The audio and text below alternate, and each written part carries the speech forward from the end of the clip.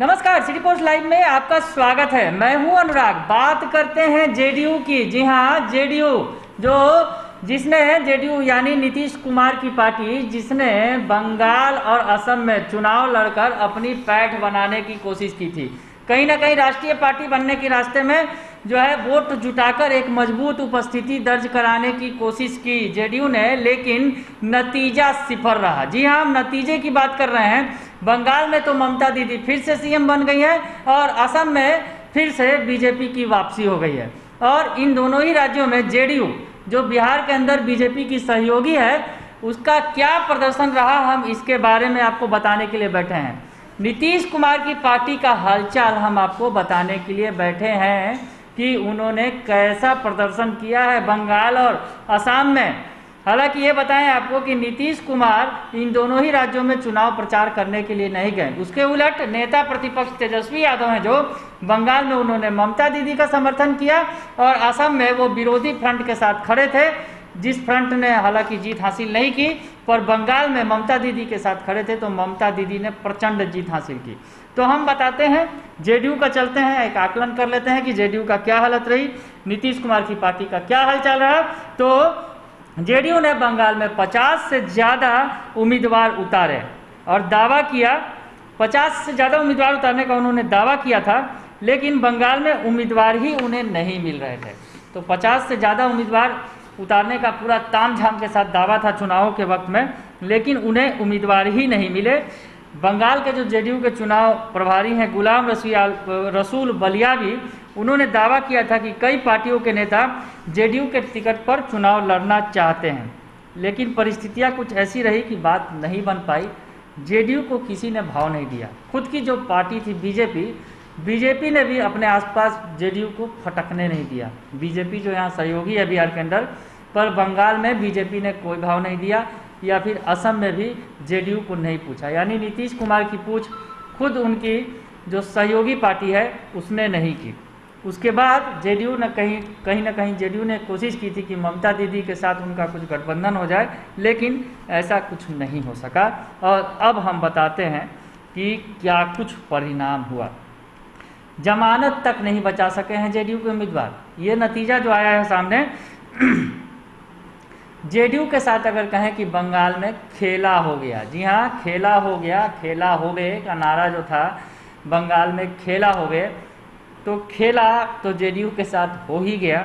खेला, इस कदर हुआ कि जेडीयू के जो उम्मीदवार थे, वो जमानत भी नहीं बचा पाए।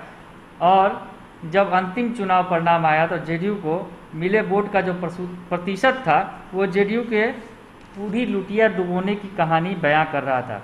तो जेडीयू का जब अगर बंगाल में वोट प्रतिशत की बात करें तो शायद सुनकर आप आंकड़ा भी नहीं समझ पाएँगे। ज़ीरो दशमलव ज़ीरो दो फ़ीसदी वोट आया जेडीयू को। समझ सकते हैं कि एक फ़ीसदी से भी कम और ज़ीरो फ़ीसदी से भी बहुत ज़्यादा अगर कहा जाए थोड़ा सा ज़्यादा। तो जेडीयू ने ये प्रदर्शन किया। हम आपको बता रहे हैं जेडीयू का क्या हाल चाल है। थोड़ा सा एक बता भी देते हैं सीट वाइज की क्या कुछ नतीजे जो वहाँ पर आए। तो किसने कितने वोट हासिल किए, थोड़ा सा बताते हैं। कम से लेकर ज़्यादा की ओर चलते हैं। हावड़ा मध्य से बात करें तो अनामिका सिंह को जेडीयू ने उतारा था। 545 वोट ही वो ला पाई। जमुरिया से गौरी शंकर बनर्जी थे, जेडीयू उम्मीदवार, चौदह वोट जुटा लिए उन्होंने। और दमदम से संजीवन हजारा को 915 वोट मिले। तो इंटाली से नूरुल हुदा जो उम्मीदवार थे जेडीयू के, महज एक सौ सैंतीस वोट जुटा सके। आगे और भी बता देते हैं और सीटों का हलचल कितने कितने वोट आए हैं। कुल जमा उंगली पर भी जोड़ा जा सकता है जो जेडीयू को वोट मिले। हालाँकि दावा लंबा चौड़ा ज़रूर था। तो चौरंगी सीट से अनिल सिंह को इक्यासी वोट मिले, जो कुमार ग्राम से कलावती को तेरह सौ निन्यानवे वोट, कोलकाता पोर्ट से मंजय राय को 175 वोट और इंग्लिश बाज़ार से उमा दास को 275 वोट, हावड़ा दक्षिण से अमित घोष को छः सौ चौवन वोट, रानीगंज से राजकुमार पासवान को सोलह सौ नौ वोट, नलहटी से अमरजीत को नौ सौ चौरासी वोट चाकुलिया से कामाख्या सरकार को नौ सौ चौवन वोट। और आपने हमने आपको, आपको बताया कि क्या क्या वोट मिले। यानी सबसे ज़्यादा जो वोट लाने में सफल रहे तो वो कहा जाए रानीगंज से राजकुमार पासवान।